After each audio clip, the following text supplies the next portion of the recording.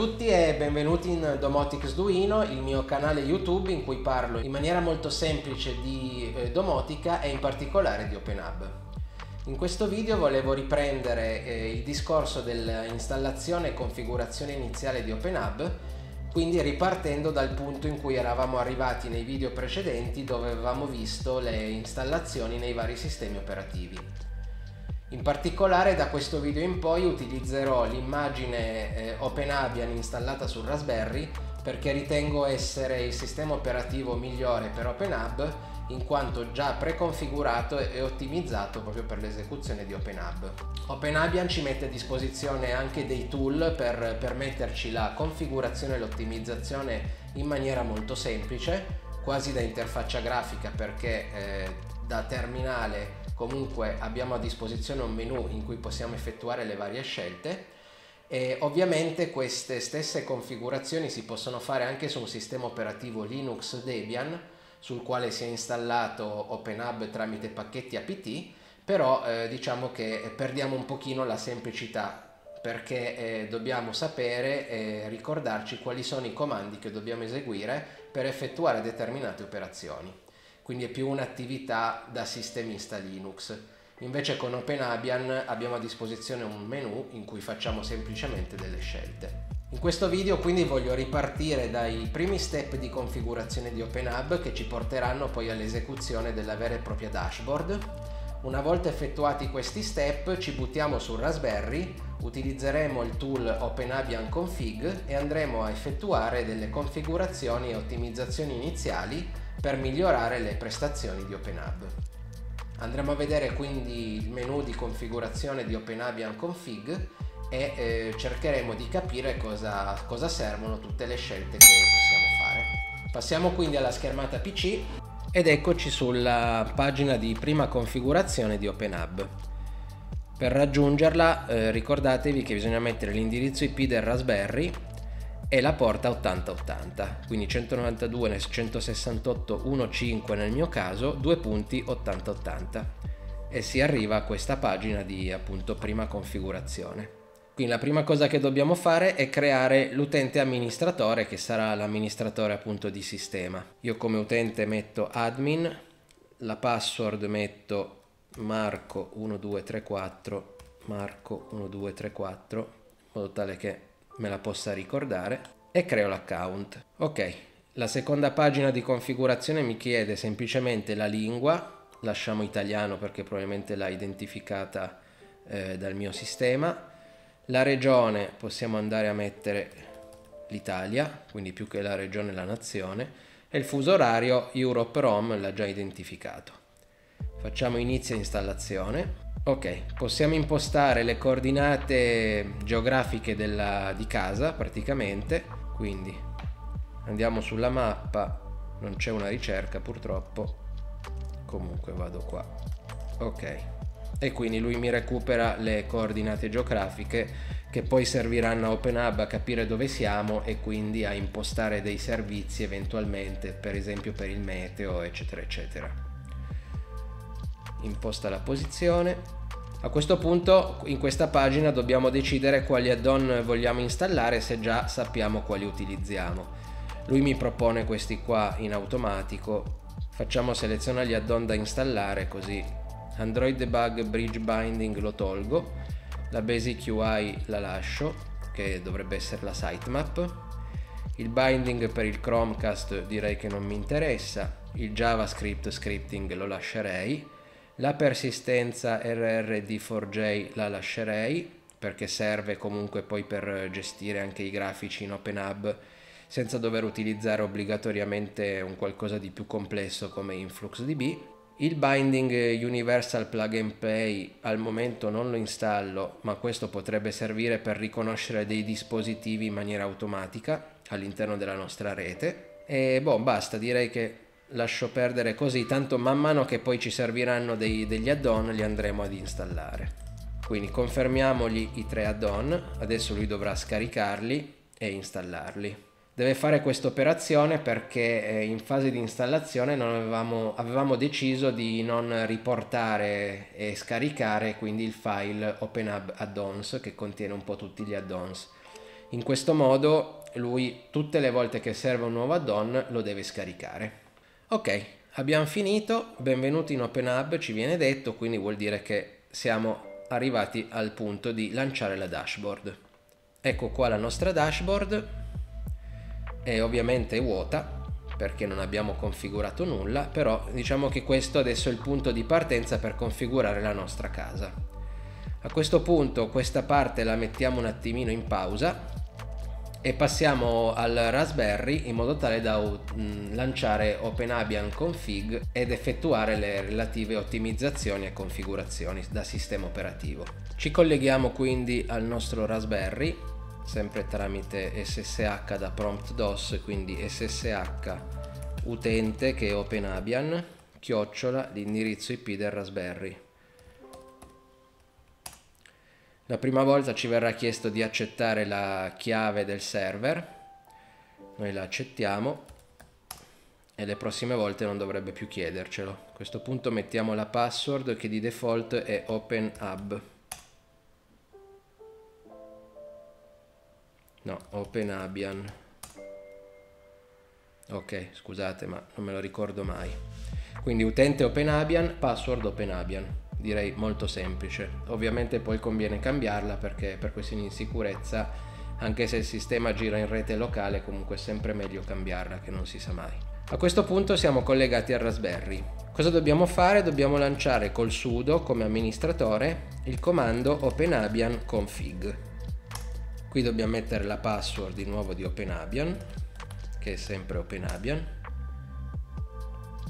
ed eccoci qua sul, sul tool di configurazione. Questo è un messaggio che avvisa che verrà installato OpenHub 4 diciamo che per noi è un sistema nuovo quindi OpenHub 4 è il default però per chi magari arriva da OpenHub 3 potrebbe trovarsi appunto tramite OpenAbian config eh, questo messaggio che lo avvisa che se fa l'aggiornamento completo del sistema gli verrà installato OpenHub 4 quindi facciamo pure stop displaying così non ci appare più e siamo qua sul tool di configurazione.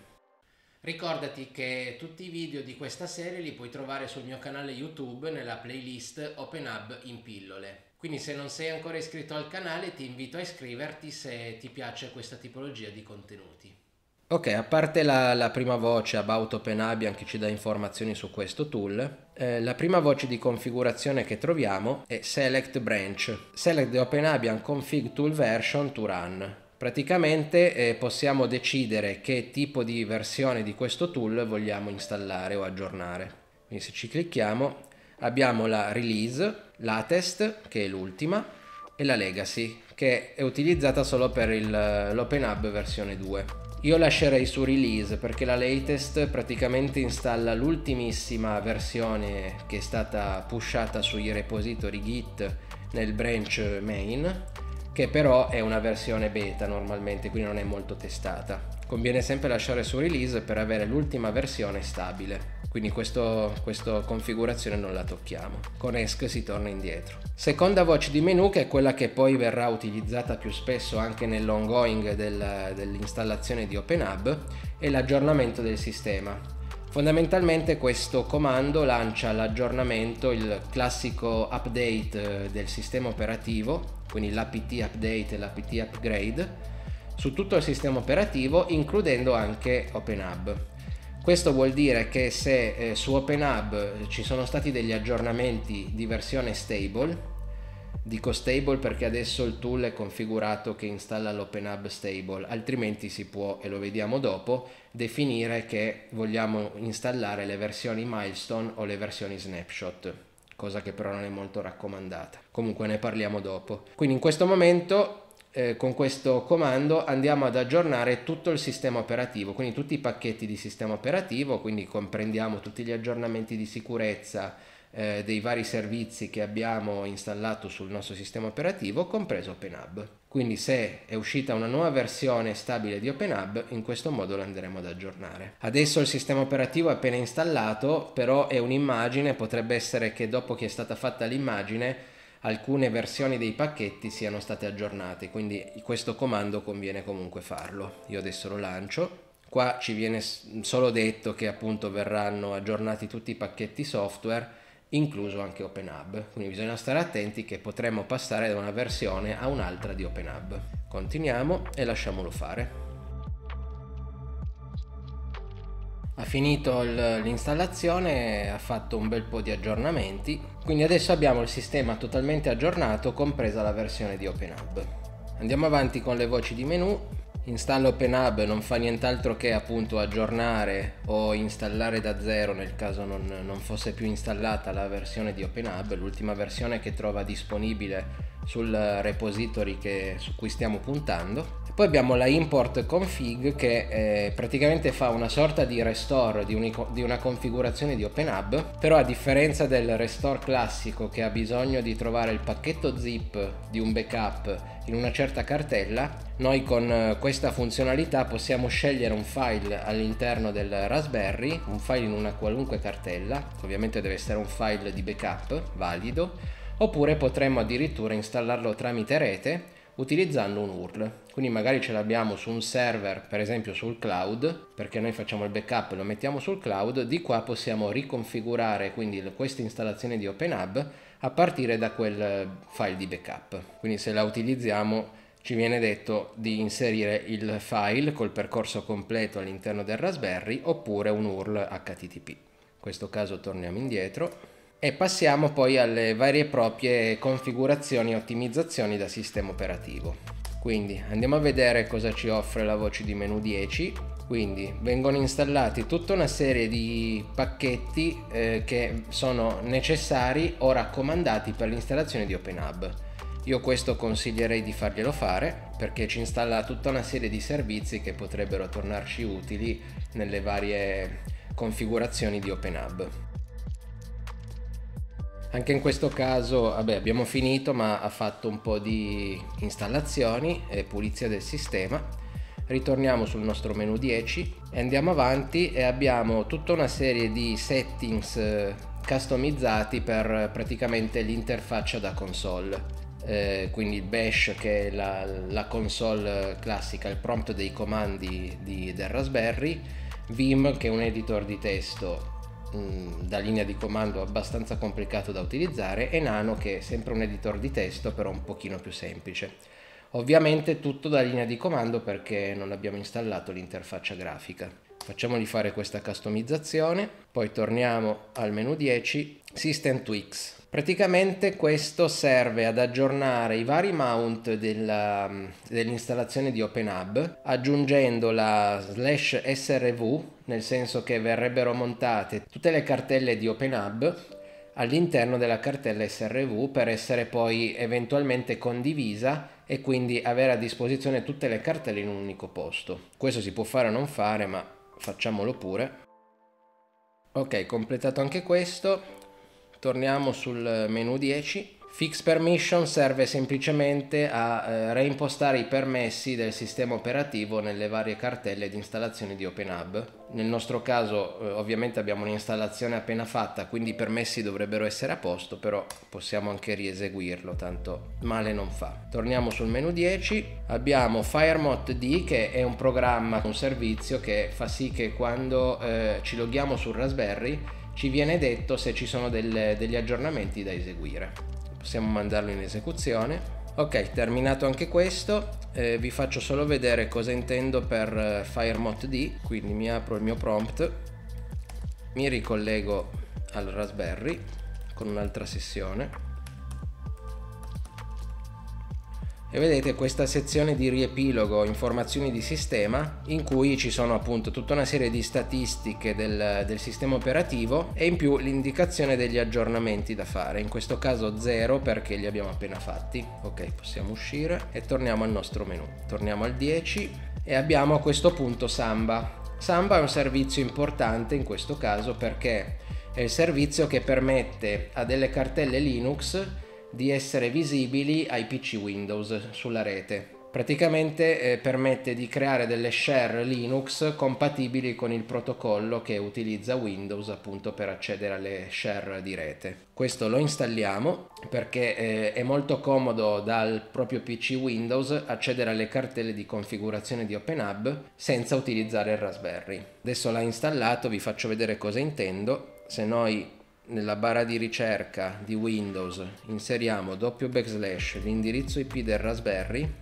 Ecco vedete otteniamo una serie di cartelle. Queste sono le cartelle che il Raspberry ha deciso di condividere in rete. Questa OpenHub Conf è importante perché eh, è quella che ci permette di gestire i file di configurazione di OpenHub quindi noi di qua tramite il nostro PC Windows possiamo tranquillamente modificare i file che sono sul Raspberry. Bene, direi che per questo video possiamo fermarci qua, eh, abbiamo ancora un, qualche voce di menu da vedere, da esplodere perché all'interno ci sono una serie di sottomenu e magari lo vediamo nel prossimo video per non rendere questo video troppo lungo che eh, magari potrebbe risultare anche un pochino troppo noioso e magari si fa fatica a seguirlo. Vi ringrazio per essere arrivati fin qui e per chi vorrà ci vediamo al prossimo video. Ciao a tutti!